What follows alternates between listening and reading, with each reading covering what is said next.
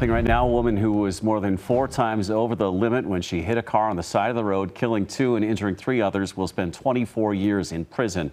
That crash happened back in October off I-25 near the 144th Avenue exit up north. According to the DA's office, Dusti Arensdorf admitted to drinking the night she hit the family that was changing a flat tire. She entered a guilty plea for vehicular homicide and assault. This conviction is her fourth related to drinking and driving. Some new